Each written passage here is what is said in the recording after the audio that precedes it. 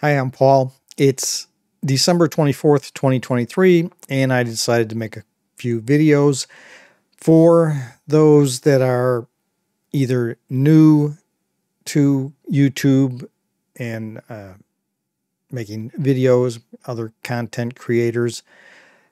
So I've been doing this for more than a year and I've learned a lot. And one thing I've learned is that audio is probably the most important thing if you're going to be making videos. So I'm I use two applications. One is Audacity, which is a audio editing software utility, and the other one is DaVinci Resolve, which is the video editor. Uh, there's uh, free versions for both. Audacity is totally free. There is no paid version. DaVinci Resolve has a paid version, but it's a one-time fee. But I'm not going to deal with that right now. This first video is just how to set up Audacity to get it ready before um, you start bringing audio or video files into it. And I've also I've got a PDF that I created that you can download for free. I'll put that in the description of the video. Okay, before we get started, I want to show you someone who's got great audio, someone who's done a, an excellent job. So this is Lex Fridman's channel. He does really good long form interviews. So just go over to his channel, select any video you can just stop it. Right mouse click anywhere and select stats for nerds. So let me move myself out of the way here. So this first value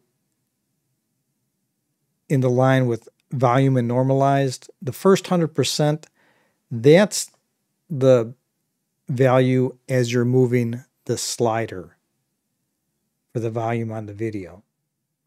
The second is the content loudness, which is the the loudness level as humans perceive loudness. It's it's they're they're showing you a decibel level, but it's called loudness units full scale LUFS if you go to any one of his videos, you're going to see minus 2.0 dB or minus 1.9. So whoever's doing his audio has got it down to a science because they're they're all of them that I've checked and I went back, you know, a ways, they're always the same.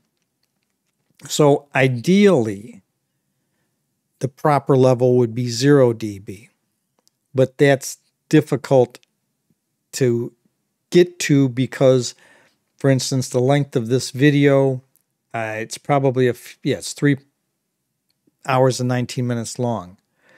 This value, this content loudness, is an average that is taken from the beginning of the video to the end of the, the video, the, the audio. So minus two or and be able be able to being able to keep it consistently at that level is excellent. And anything around minus three to zero dB is probably perfect. So that's what I'm going to show you how to do in the next few videos. But for right now, we're going to get Audacity set up correctly.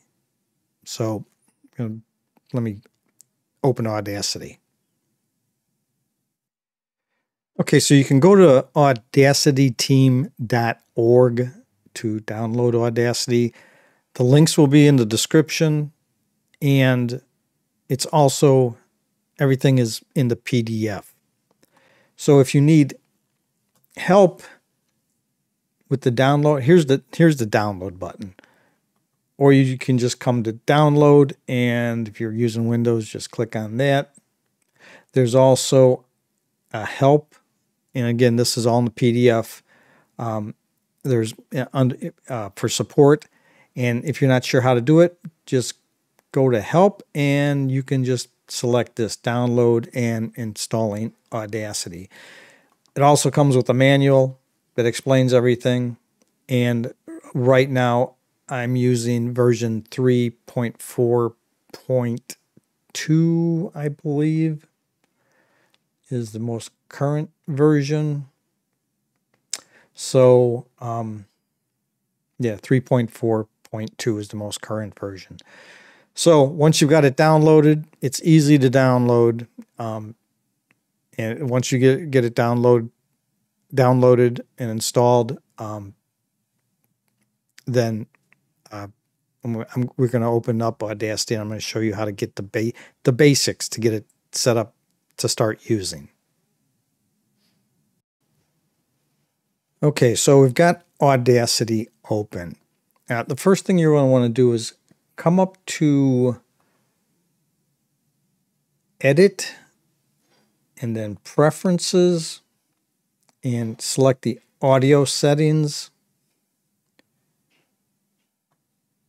And again, all of this, there's screenshots and um, explanation in the um, uh, PDF uh, on what I'm doing. So some of these will be uh, um, just your default. Uh, it should recognize the speakers that you're using um, and the microphone. Once it, as long as you've got them plugged in and turned on, it should recognize them. Right now, I'm using Hyper um, X SoloCast, which is a great little microphone. I changed this from um, stereo to mono because I only record my videos in mono. That's up to you.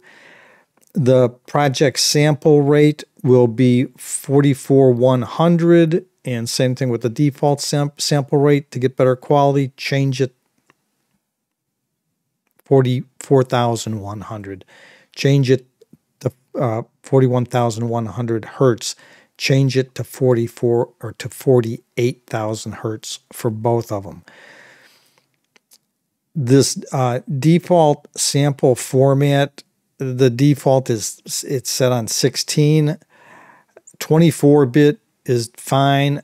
I selected 32 bit. And what I understand, it probably doesn't matter much, but I chose the best anyways and I'm actually I'm following along with my PDF. That's why I'm looking off to the side.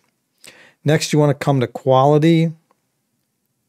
I'm really not sure if this was the default, but um, so the real-time um, conversion, it's just medium quality, dither is none, and then the um, sample rate uh, for the high quality conversion, I I have it set the best quality, slowest. I don't remember what the default was, and the dither was shape. Not 100% what that means, but. And the other thing you can do if you want to see what the um, shortcut cuts are for the sh the the shortcut keys, um, just come down here to shortcuts. Same thing with with the mouse, and under tool, that's there's these different tools up here, and that's what that means. There's the select and the zoom and envelope tool, and so uh, and the, the multi tool. That's this one. So that's just the different tools, and under um, application, make sure that check for updates is selected and um,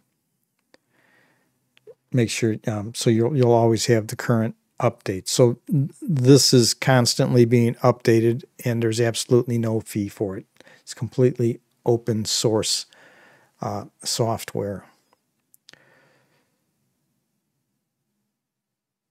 Okay, so the next thing you want to do is come up to edit and you have the metadata editor. This is if you want to add um, copyright information.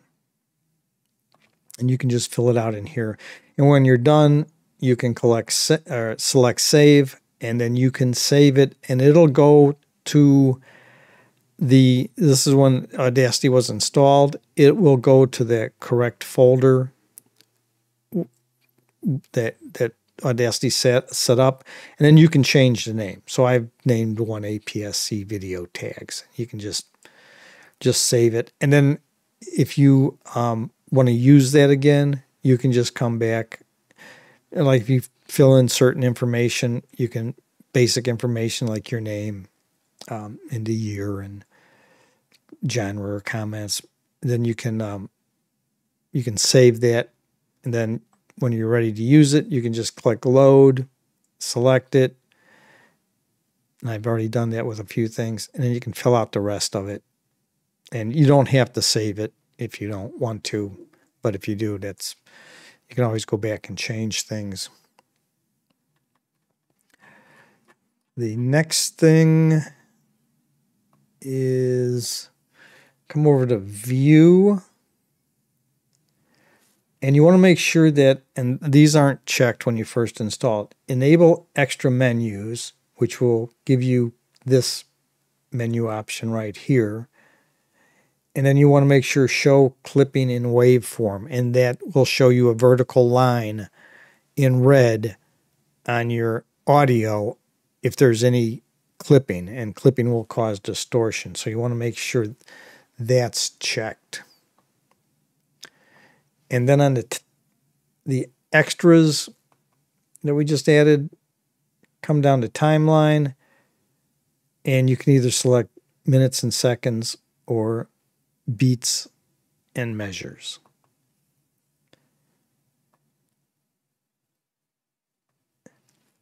Then come over to the audio button here.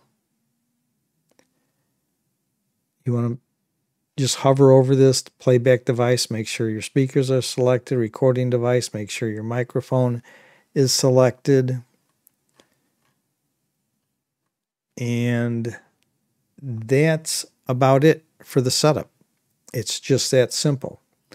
So um, again, I'll leave links in the description for the Audacity website for the download and for um, I'll also leave a link for DaVinci Resolve, uh, although I'm not going to get to that yet.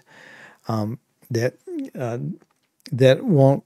The next video is going to be just using Audacity, bringing an audio file uh, or a video into it, and it will extract the audio file. But I'll put links for DaVinci Resolve in all the videos also, so you can um, so you can check it out if you'd like.